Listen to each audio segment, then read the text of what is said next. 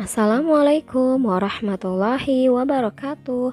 Kembali lagi dalam pelajaran IPA Kali ini kita akan membahas sistem pernafasan manusia. Sebelum melanjutkan, silahkan subscribe, like, share, dan komen dulu ya. Oke oke oke.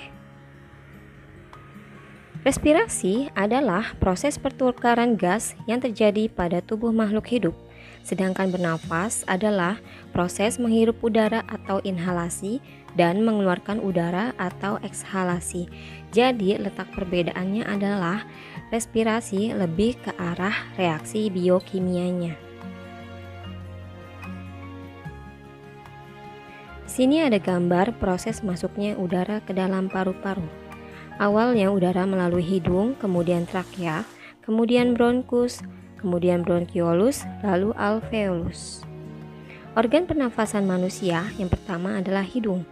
Fungsi hidung adalah menyaring debu-debu yang masuk, menyamakan suhu di luar dan suhu di dalam tubuh. Organ selanjutnya yaitu ada faring. Di dalam faring terdapat proses gerak peristaltik dan terdapat tonsil yang, yang berfungsi sebagai kekebalan tubuh. Kemudian laring. Di dalam laring terdapat epiglotis, yaitu untuk menutup laring ketika makanan masuk.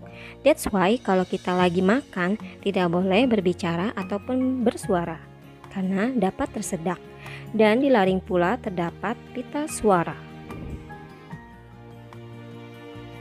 Organ yang keempat yaitu adalah trakea. Trakea atau batang tenggorokan, trakea tersusun atas cincin-cincin tulang rawan dan berselaput lendir yang berfungsi untuk menyaring benda-benda yang masuk dalam saluran pernafasan. Nah, makanya ketika kita batuk itu kan banyak terdapat lendir itu dari trakea. Kemudian yang kelima ada bronkus dan bronkiolus. Bronkus itu cabang trakea. Cabangnya ini ada dua, ada yang ke paru-paru kanan dan ke paru-paru kiri. Kemudian dari cabang tersebut terdapat percabangan lagi yang disebut dengan bronkiolus. Dan di bronkiolus ini terdapat gelembung-gelembung kecil yang disebut dengan alveolus.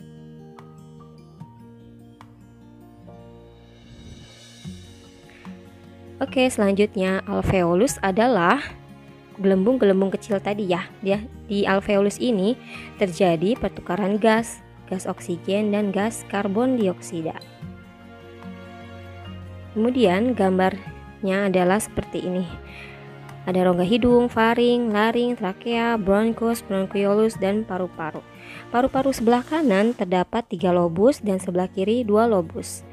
Kemudian ada mekanisme pernafasan. Pada saat inspirasi, diafragma dan otot dada berkontraksi, volume rongga dada membesar, paru-paru mengembang, dan udara masuk ke paru-paru. Sedangkan pada ekspirasi itu kebalikannya ya. Diafragma dan otot dada berelaksasi. Kalau yang tadi kontraksi, kalau sekarang relaksasi. Volume rongga dada kembali normal, paru-paru kembali normal dan udara keluar dari paru-paru. Berikut ini adalah gambarannya.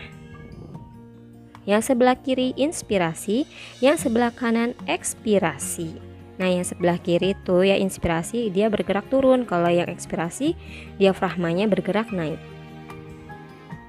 Kemudian yang kita bahas selanjutnya adalah faktor yang mempengaruhi frekuensi. Yang pertama adalah umur. Umur semakin tua maka frekuensi pernafasannya akan semakin rendah. Kemudian yang nomor dua jenis kelamin. Jenis kelamin pria dan wanita lebih banyak frekuensi pernafasannya yang pria. Kemudian ada aktivitas tubuh. Aktivitas ketika lari itu kan pasti frekuensi pernafasannya akan semakin cepat, akan semakin tinggi dibandingkan dengan aktivitas berjalan atau sebagainya. Kemudian yang nomor 4 ada suhu. Ketika kita sakit panas, maka frekuensi pernafasannya juga semakin tinggi. Yang kelima, posisi tubuh. Volume udara yang digunakan dalam proses pernafasan. Ada volume tidal. Volume tidal adalah pernafasan biasa, volumenya 500 mili. Kemudian volume cadangan ekspirasi, volumenya 1500 mili. Volume cadangan inspirasi sama dengan ekspirasi.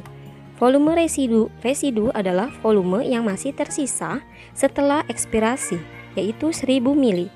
Lalu kapasitas vital paru-paru volume tidal ditambah volume cadangan ekspirasi ditambah volume cadangan inspirasi yaitu 3500 mili dan yang terakhir kapasitas total paru-paru 4500 mili. Dan selanjutnya penyakit sistem pernafasan. Yang pertama ada influenza. Influenza ini disebabkan oleh virus influenza. Yang kedua ada tonsilitis yaitu infeksi pada tonsil atau amandel.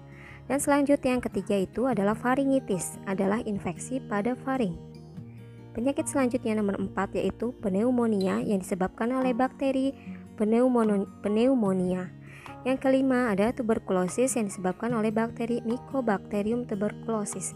Yang keenam di situ ada yang salah ya. Jadi yang keenam itu asma adalah penyempitan saluran pernafasan yang disebabkan oleh zat alergen. Terima kasih untuk kali ini. Wassalamualaikum warahmatullahi wabarakatuh.